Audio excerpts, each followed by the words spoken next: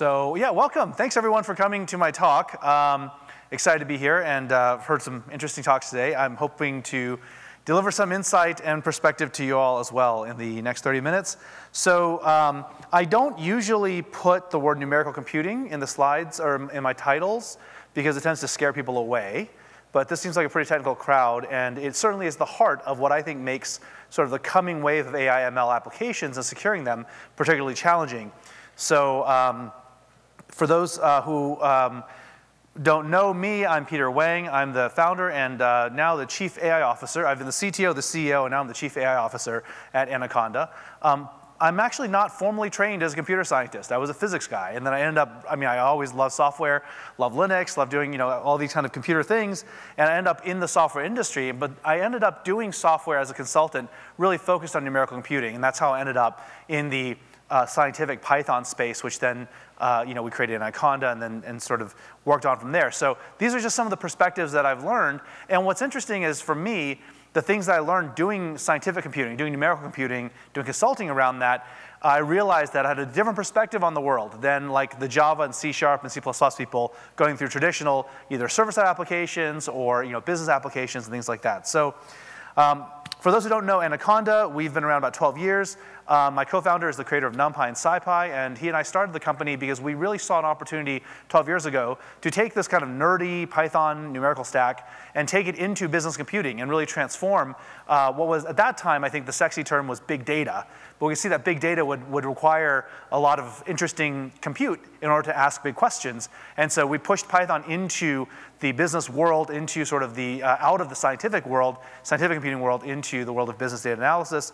And over the last 12 years, we've, we've invested um, north of $30 million into just legit open source software development, whether it's fundamental tools like Conda, which you would expect we would invest in, but also lots of new and interesting things like PyScript, which is a WebAssembly uh, Python integration Little tools like BeeWare, which let you write Python and then deploy natively onto mobile, iOS, or, or Android.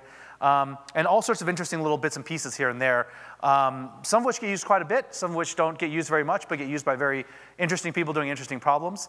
Uh, and we're just really proud to have been part of this large community and, and pushing it forward.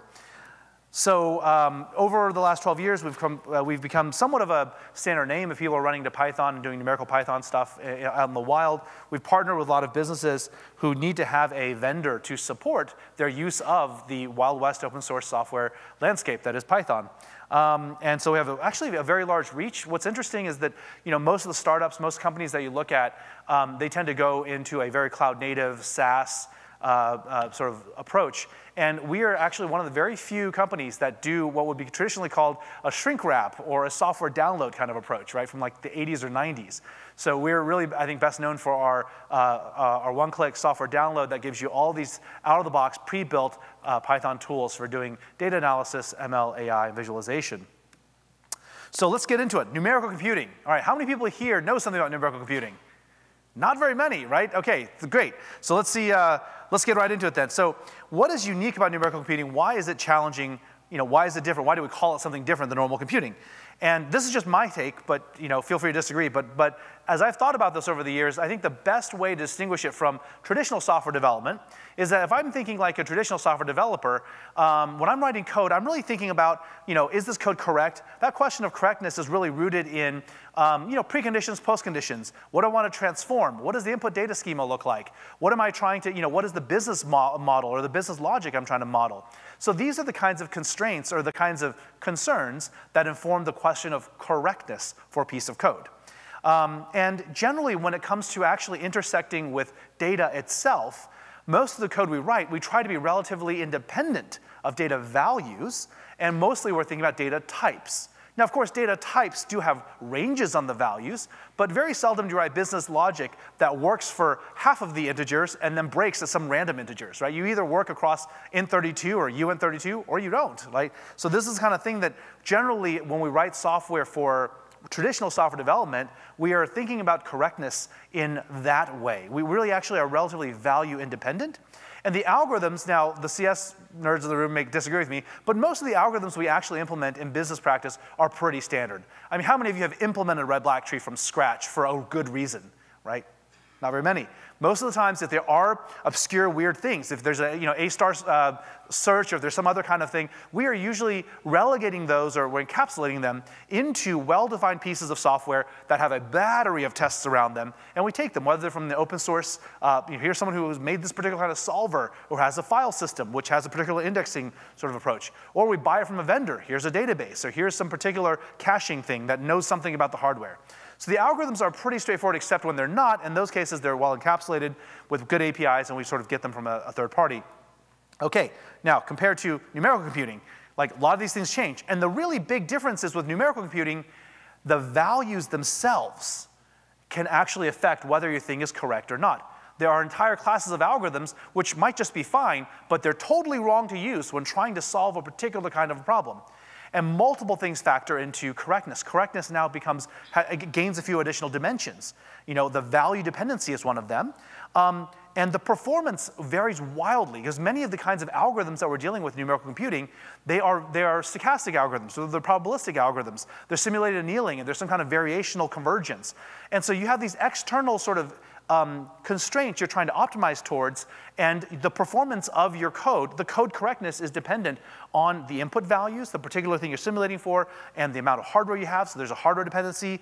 All of these things, performance is an aspect of correctness. Correctness depends on values themselves, data values. The algorithms are hardware dependent, and the algorithms can be complex, as in there is no known closed form solution. You just have to try a bunch of heuristics, right? That's the kind of thing we run into in numerical computing all the time. And even when we, you know, when we go into the most rigorous environments, supercomputers connect with InfiniBand that cost the public $100 million, we are throwing these kinds of algorithms at them.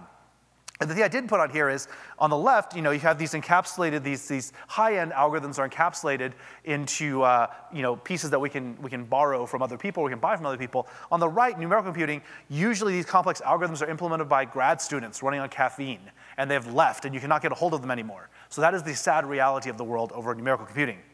And so the open source world around numerical computing has emerged um, in, a, in, a, sort of different way. Like I, am an open source nerd from like the 90s, and I remember, uh, you know, uh, all the all the greats back then talking about how you know open source you scratch your own itch, and that, and then you find other people on the internet who itch in the same way, and you guys get together on a mailing list, and now you have a piece of open source code. But on the scientific community side, you just find beleaguered refugees who get together and, and, and certain random meetups and certain mailing lists. That none of them are trained developers. They're just hacking Fortran and C, um, and they have you know a bunch of I/O in the middle of a hot for loop because nobody told them differently. And so they're doing all this stuff though because the CS nerds are, are making too much money starting things like Google, and they really can't be bothered to learn differential equations and any of this other high-end stuff that, that you do with Fortran. So the open source community, though, did actually start gravitating, the open source numerical computing community started gravitating around Python.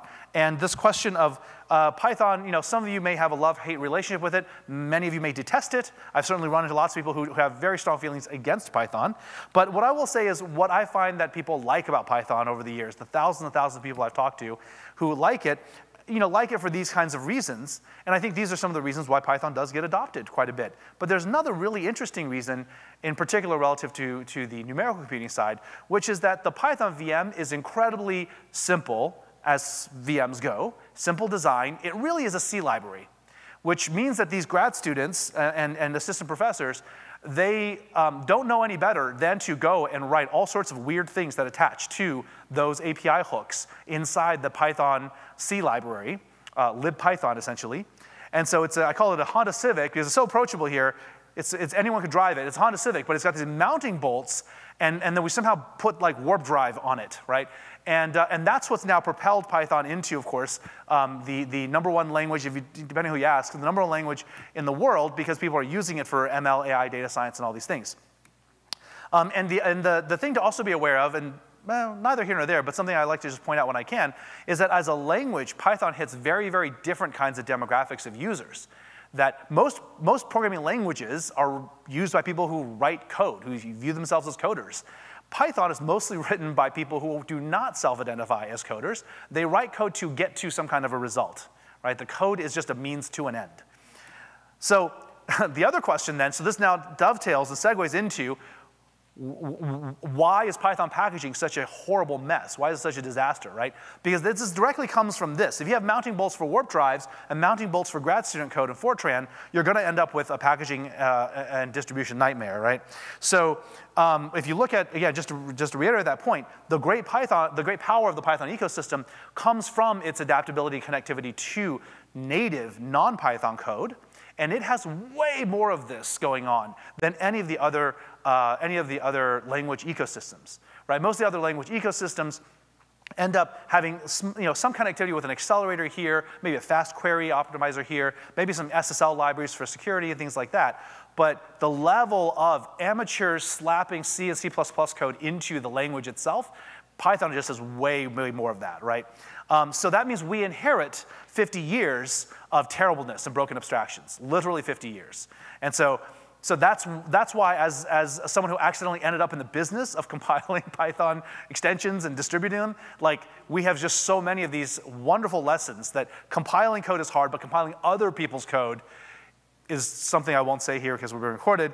But, but what you learn is, of course, all these things which are being talked about in a conference like this, right? The build environment matters tremendously. The hardware dependency and the runtime environment explosion means that you have to make this trade-off of do I target, what version of a chip instruction set do I target? Right? Most of your standard vanilla web serving, web front end code that you know, you know, does a CRUD out of a database and puts a row into another database, it doesn't really care if a particular chip has AVX512 or has SSE2. You, you, don't, you don't care, right? But when you write this kind of stuff, it could be 2x, 4x, 10x your performance right? And depending on how much cache, how much L3 is available on, an, on a GPU, sorry, on a CPU, depending on how much L3 is on there, you may actually want to use a different algorithm. This is the kind of thing that ends up like plaguing this ecosystem of, of, of tools that are in the Python ecosystem. And so most people don't care about any of this, by the way. They just want it to work. Again, they're not software devs, they're not software nerds. They didn't get a CS degree. They just want to import some library they read about in a blog post and run it in a Jupyter notebook and have it work. So there's all sorts of fun little things. I don't know how many of you have heard about this one. Um, this is the kind of nightmare you run into. So this is a little bit, if you, trigger warning, you guys might see some stuff that causes you to start convulsing. But there was a bug in GCC that would cause a numerical precision flag to be set and then fail to be unset.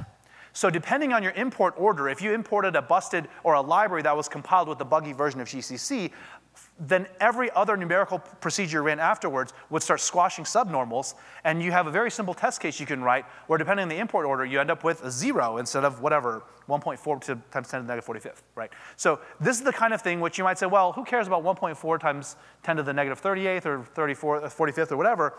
Well, um, there's a little thing called um, LLMs, which are all made of large matrices, oftentimes with very, very small values in the edges, and multiplying those together and adding them up turns out to be really important. So that's just one example. If you're doing engineering simulation, if you're doing wing airflow simulation, all these things matter tremendously. And this is a horrible, horrible bug to run into, and you catch it somewhere in the middle of the supply chain.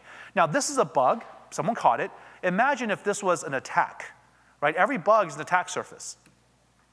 Um, so here, like this is a fun thing. A, well, I guess this actually names the vendor. But in any case, a vendor decided to delete a binary symbol in a, uh, in a third-party, non-open source uh, library that they provided, and that ended up breaking up a lot of downstream stuff. You know? And so the downstream stuff decides, oh, we're going to vendor the world. We'll just pull everything in and statically link against them. That's also not great because you actually want to have transparency into what are your dependencies, right? Um, there's fun things like this. At runtime, turning a hex string into another shared library that you load into the runtime environment. That's great. Um, and so this is, uh, yeah, this is just kind of the stuff that you run into when you have a couple hundred thousand libraries in an open ecosystem. Um, there's other things like this which are not really WTFs as much as just like nightmares. Um, so if you want to do some, data, uh, some geodata, geospatial data processing, you'll probably run into a library called GDAL. It's a very popular, very common tool for you know, converting different formats, and there's tons of data formats for looking at map data. And if you want to actually get stuff out of PDF, you have to build Chromium. You take a dependency on Chromium. Um, and there's all sorts of other stuff I don't want to get into. There's stuff where, you know, depending on the, on the date at the build time, you might actually build differently. And that's because of um, uh, software patent issues. And so if you're building a particular library before a software patent is expired, then you would use this open source implementation here. But after that license expired, you would build against this thing over here. Okay, so you think about your software reproducibility, you think about supply chain vulnerability analysis. This is just all of these things should make your skin crawl, right? Um, there's just, uh, yeah, like there's many things as well where you, because people in Python use um, virtual environments, and then we have all sorts of long path names in, in, order to embed all the different build configuration and platform architecture into the file name, and then you use the file name, of course, why wouldn't you use the file name of the tarball as a directory, you unzip into there, you start going down, down further and further and further, all of a sudden you run into the Windows um, path, path length limit, which depending on what how Windows is configured is 256, 260, or 32, 767 characters. So good luck. Um, and so this is the kind of stuff that we run into, and these are just a few of the wonderful little bits that make this hard. Because to kind of recap, um, there's a large, vast ecosystem of really weird and interesting code uh, written by people who are not themselves necessarily coders that are required and, in, and, and they want to be used by other people who are also not software nerds. And it sits on top of 50 years of stuff that just happens to be around, whatever, on a department machine that somebody compiled and linked against. So this is kind of what we run into. It is absolutely a flaming dumpster fire, except it, it sort of fuels so much of what happens in, in modern computing. Um, and so this is one of the reasons why we built Conda, was we wanted to make sure that people of, of, of whatever stripe, students, professionals, they could just get all the bits and pieces of, of the, the open source software stack. So you can think of it as a uh, Pythonic, Python-oriented kind of Nix, or you can think of it as a, um, a cross-platform RPM kind of approach, um, where we're really packaging not just Python, but we package all the dependencies upstream of Python as well, including GDAL, including Chromium, including GHC and Haskell. We package all of that so that when an end user wants to go and grab something, they get all the bits and pieces. But if they're doing this in an enterprise environment, all those pieces are there invisible so IT can come and scan and look at it. And that's actually one of our, one of our products is that when people just go and download all this stuff, because these are end users, they're not software developers, they don't know Agile, they don't know what anything's mean, they're just trying to run some Python code in a notebook. Um, and they're just getting it from whatever, right? Because they might just grab it from an FTP site, they might pip install something, um, they might get it from an actual distribution vendor like us who tests and curates some of the compatibilities, but whatever happens, they end up with a collection of this stuff on their machines, and enterprises have no visibility into this. Enterprises, they don't even know how many Python users they have because you know, they can talk to the IT groups who are writing code, but then you know, the VP of marketing is learning how to do AI, ML, some PyTorch stuff on their work laptop. So, um, so we have a product really to help with this problem, um, to, to, give people sort of a central point of control, to filter on various things. This is not really a product shield. I just want to let people know there is some kind of a solution we're trying to put in place for this kind of thing. And this you know, works with our packaging technology, Conda. It also works with pip, which is the, you know, the, the, the, the, more popular one that everyone uses for the non-native compiled dependencies. Um, but it really helps people get a visibility into what, what, what all is actually in their environments. Um, and then we have other tools as well. Again, not a product shield, just going to skip over this one. But um, in my last few minutes here, just uh, talking about what, what comes next, right? Why, why am I interested in this topic uh, and why do I think it's so important? Well, when we're talking about, in a conference like this, we're talking about supply chain security, we're talking about all these different things. Uh, things like build, like SBOMs and, and, and, uh, and the build uh, pipeline and, and signing various pieces of the stages, all these kinds of things are good. I mean, they're, they're, they're great ideas. But I want to give people a bit of visibility into just how gnarly the stuff inside there actually is. Um, and, and how often we end up transporting binaries across that you really don't have a point of, you don't have a sense of provenance of it. Or you have um, irreproducibility. Oh, there's one that was here that was absolutely delicious. Did it link here? Oh, I, I got rid of it. Um, there was that one time where um, there was there's one funny one. Maybe some of you remember this, the Debian one, where they were cleaning up a test, a test warning, a regression about using um, uninitialized memory, and um, I think some security library was using that as a source of entropy. And the Debian maintainer kind of patched a thing in there, said, well, you're just accessing un, uninitialized memory. We should initialize it to zeros. And that led to a security regression, right? Um, and so you think about how many of those kinds of things show up uh, in, the, in, the, in the build chain for stuff like this. Um, it's just, it's actually kind of a, a, nightmare to think we can do any of it at all. Um, but the reason I bring all this up is this isn't just a bunch of rando like grad students in some engineering department messing around on a department computer. This stack is the foundations of AI. This stack is absolutely the foundations of modern data science, machine learning, and AI. It is driving not just a lot of different kinds of workloads, it's driving the most flops. Think about that for a second. What's driving the big, big, big stuff? Well, it doesn't take a lot more energy to go crank more rows out of Redis and then stick into a Mongo. That's been about the same for the last 10 years. This stuff is going and running at scale. People are, it's very easy for a VP of, of, of sales or for a risk you know, uh, auditor somewhere at a bank to say, you know what, I want you to go, instead of, instead of backtesting 10 years, backtest 15. Instead of, uh, instead of testing it at a resolution, a grid resolution of every week, do it every day. And now all of a sudden you've increased your, your compute footprint by how much? Right? And so the kind of workloads, the kind of flops that are going to be driven, that are driven every day through this stack of 50 years of Fortran C, C++, and grad student code, that is actually a huge part of the IT budget and will be even more of it moving forward.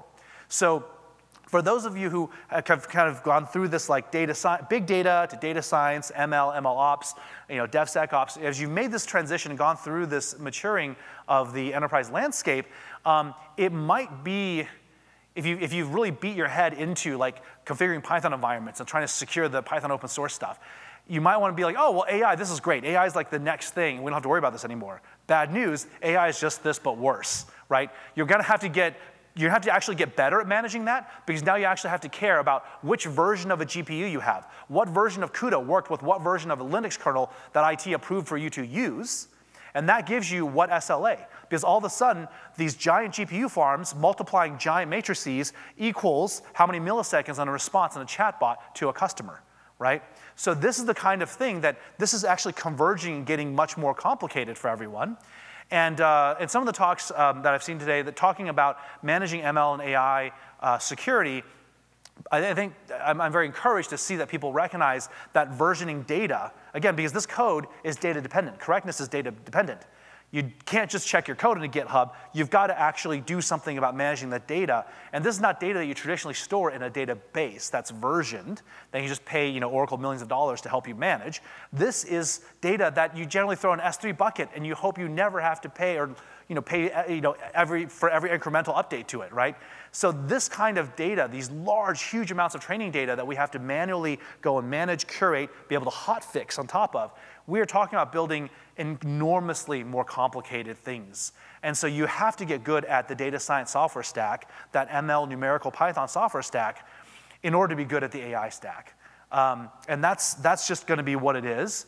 And so I'm sorry I can't end on a good note, other than all of you probably will have jobs for the next coming decade, because this is real, right? I, am not going to go into all the AI ML attacks that I've seen, but there are definitely data poisoning attacks that are happening, and they're going to continue getting worse um, until people really step up. We're right now in like the telnet era. If, if you think about back in the day when people would RSH and telnet clear text passwords on hubs, not even switches, we're in that era of data management right now, right? There's data attacks where people are going and buying expired domains, stuffing bad data in them, hoping they get sucked up by the next crawl. There's these kinds of things that people are doing to actually poison data at the source. People are typo squatting.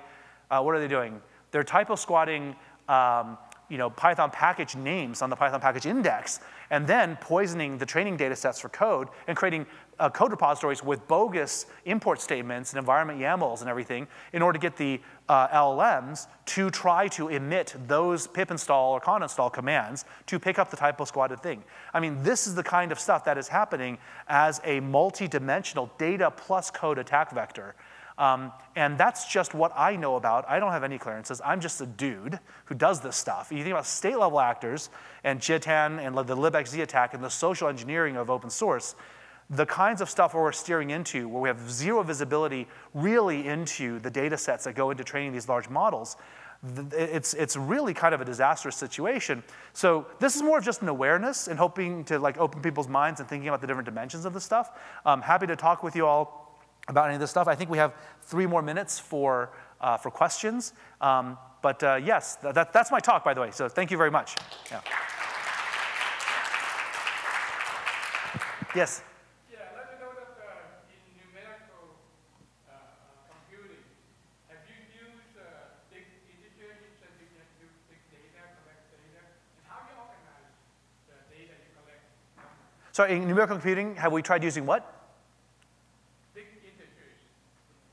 Big int, you mean like, um, Have you used that or you never did have to deal with it? well, we, uh, we use precisely as much integer as we need generally because it's expensive to use bigger ones.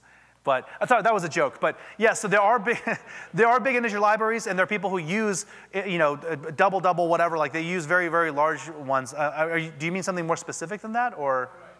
I don't know, 50, 50 byte integer or something. Um, I, in the numerical computing stuff that I've come across, generally not, because for the most part, um, there's very few things where you need to count that much stuff with that much precision.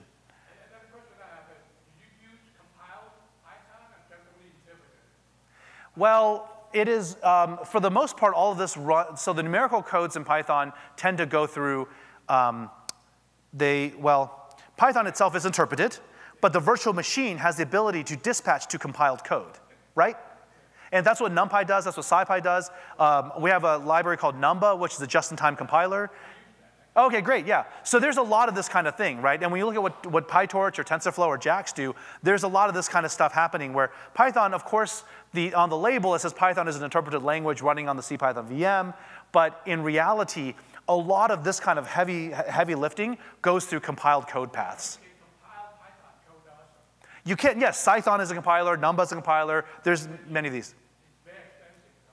The compilation can be expensive, but it, it, sometimes it's not because the hot path can be compiled very quickly. And you know, the trade-off here always is between expressiveness and correctness and performance, right? So, yeah. Any other questions? Yes. So let me preface this by saying I have zero computer science anything, so take it easy. Um, I am, you, you mentioned this sort of poisoning the data at, at the front end and, and um, typo squatting. How, how do we prevent, do you have a pathway forward or do you have any recommendations on how we stop it? Uh, yeah, but you're not gonna like the answer. I'm not a popular guy when I talk about that. We have to actually have transparency on the input data. I mean, I don't, I don't know, like it's, maybe I'm just stupid, but like that seems like the obvious answer, right? If you don't want people poisoning crap, then don't make it a black box. But none of the AI, comp- very few AI companies, I should say none, but very few frontier model uh, folks will even talk about what they use because there's a legal liability and risk around that. There's a few models that are actually transparent on their training data. The Allen Institute has one. Uh, I think IBM Granite, they talk about the data they use as well. But when you actually go and look, all these people are trying to say, oh, we have open, we love open source AI, we have all these open source AI open weight stuff. You're like, yeah, but what data did you use? Well, our lawyers told us not to really talk too much about that, right? So if you actually want to stop that kind of attack, there is no other option than to be transparent about it. I think if, you know, as long as we don't have, as long as they feel at risk of legal exposure if they talk about that, then um, what we'll probably end up having to have is some kind of a third-party auditor that then is trusted and then is given the stamp of like, yes, you know, there's some kind of, you know, this kind of dance is always, always happens. And they can then audit those data sources. But see, the problem then, the problem is even then, auditing just what you say you used is not the same as, oh, I can guarantee that no intern or beleaguered person went and did a last minute data update 3 a.m. before the final training run kicked off, right? That's another thing you'd have to then affirm.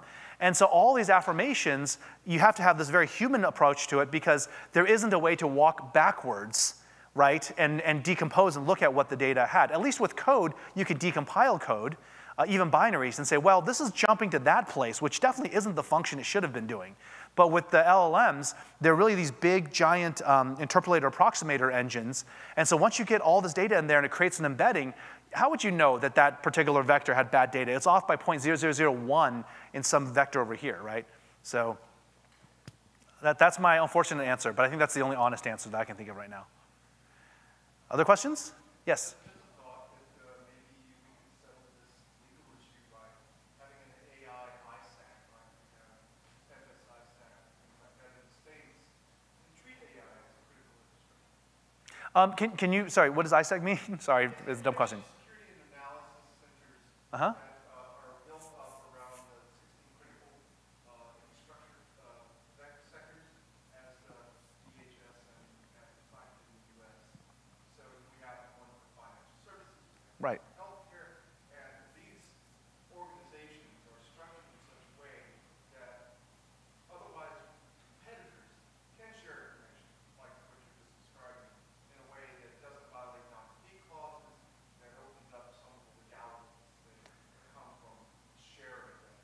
That, yeah, that could be, that could be workable. That could be workable. Um, I'd have to think about that a little bit. I worry that the stakes are so large. There's so much at stake for these guys because there's not an otherwise economic moat, right? If you're OpenAI for Anthropic, I mean, uh, Meta's out there throwing out 400 billion parameter models. Um, so these these people have a lot at stake. And of course, the people that, are, uh, that would otherwise uh, would, would have a claim if they could see the data and, and have any indication of data sets in there. It's, it's well funded, Hollywood, the entertainment industry. It's, it's a, you know, there's just a lot of dollars at stake on both sides. And so um, th that's what gives me pause when I think about that. Uh, but I do think that what we'll see, hopefully, what I push for as an open source guy is um, I really do think that we should be able to get much better performance with much less data, with just public available data. And so I'm deeply supportive of projects like Dolma and OLMo from Allen Institute, um, projects like Eleuther, um, that are trying to build in the open and then try to have better and better algorithms running more efficiently to produce something approximating a frontier model. And I think we'll end up converging on that because then you can actually have some kind of legal clar clarity as to what this is, right? Um, anyway, there's a little pontificating on AI, but yeah. Any other questions? In the back, yes.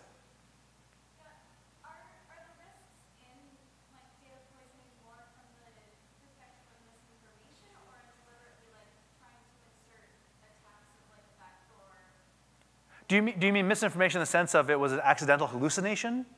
No, I mean like intentional misinformation in a data set waiting to be picked up.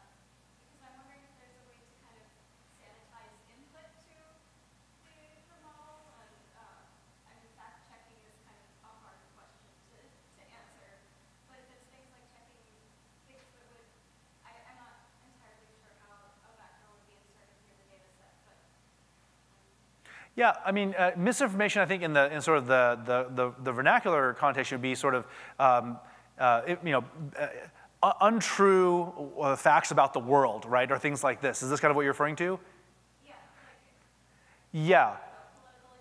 Oh, okay.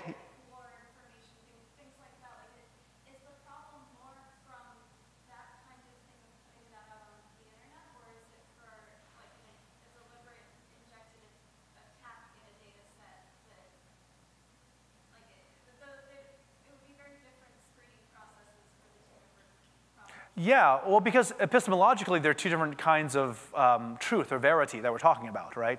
So we should maybe not use the word truth there, and what I would use is um, if we want to build a high quality LLM, and we define high quality as when I ask it to generate code of a certain type, it generates with as great a probability as possible code which does that and does not expose, does not create vulnerabilities in the generated code.